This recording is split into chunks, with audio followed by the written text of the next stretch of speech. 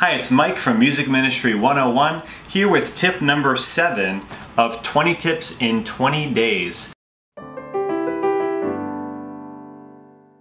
Today we're going to start talking about how to teach songs, how to teach music.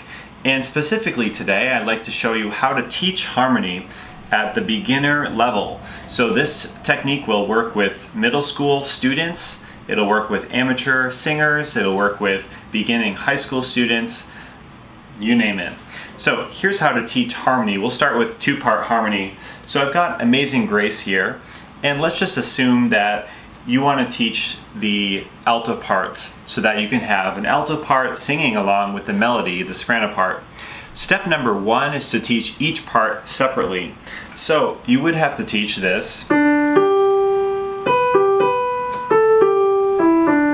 Except for everyone should already know that. So let's skip that and teach the alto part. So you could have them listen to a phrase first.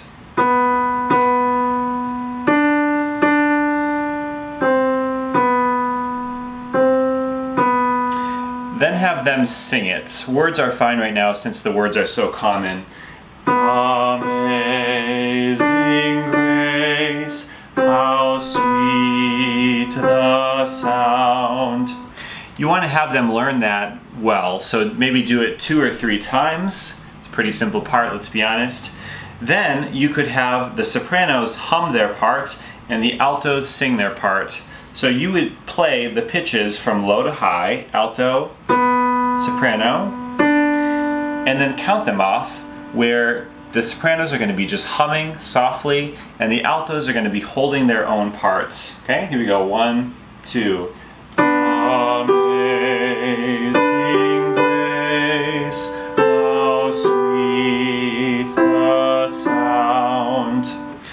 So that's the basic idea. Then you could have them switch where the altos were humming and the sopranos were singing the melody and you would do the same thing.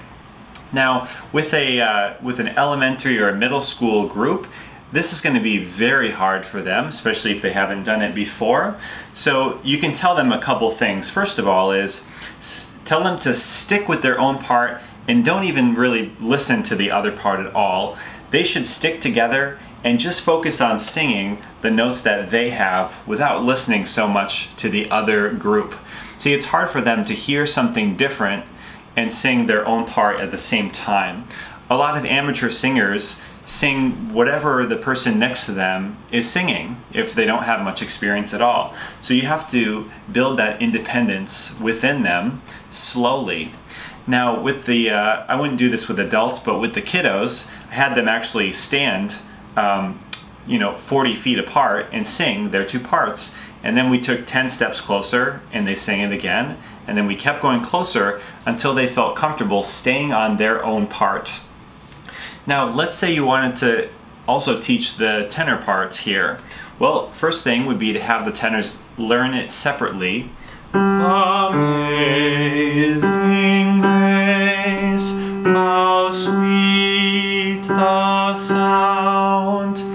Then you could pair two parts together, like let's say the tenors and the sopranos at the same time. Play their pitches and count them. One, two,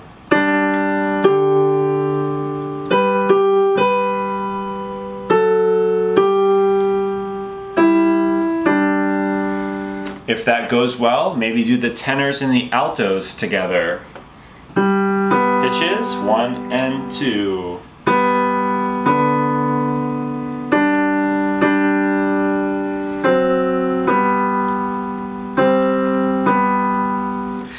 Put everything together at the same time.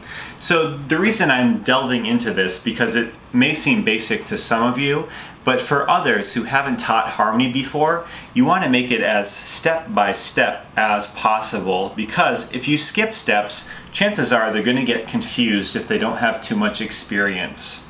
So if this process seems tedious, well it kind of is, but you can actually skip steps later on in the future and for instance, with my current choir, I can ask them to listen to the harmony. And we might go through the entire song and then I'll have them sight read it slowly, and generally they can do pretty well. But the tip still stands for choirs that don't have much experience with this, go step by step, take it slow, and you can always go backwards if they need extra help. If you are someone that regularly works with amateur singers and you've been enjoying these tips, please click on the link in the description below to check out my Choir Essentials training program. It is an online video training program that will help you to hone your skills as a choir director, whether you need to recruit more members, get them to sound professional, in tune, with a clear and free tone, or if you need help with working with difficult members or keeping your members happy in general, this program is for you. So I encourage you to click the link in the description below and check it out. And if you found this particular tip to be useful, I'd love to know that you're here and that I should keep producing this content for you, so please smash the like button below as well. If you'd like to build your choir or start one, if you'd like to get your choir sounding professional with perfect harmony, rhythm, and vocal blend, if you'd like to motivate your choir to learn new songs and harmonies without any hassle, I'd like to invite you to try my Choir Essentials training program today. Hi, my name is Michael Carney from Music Ministry 101. Over the past 15 years, I've been able to grow and improve several choir programs in churches and in schools, from just a few members to hundreds more. And during that time, I've had the honor of leading choirs of all ages and sizes into successful performances. As I've become more successful with choir directing, a lot of people started to ask me for tips and advice that they could use to create more success for themselves. I've created a training program that contains the most important things I've learned about growing a choir, getting them to sound great, and running a successful choir program and you can watch them all now in my Choir Essentials training program. You'll learn everything from my step by step approach to recruiting adult and youth choir members to the best ways to teach harmony without having pushback from your singers, and the quickest and best ways to improve your choir's sound, whether it be an issue of vocal blend, pitch, or rhythm. My ideas and methods have impacted people around the world, and I know I can help you to build the successful choir that you've always wanted to achieve. Just visit me at musicministry101.com and try my Choir Essentials training program today. It is risk free for 30 days and will guarantee that you will massively improve your choir program. Thanks for checking out my channel.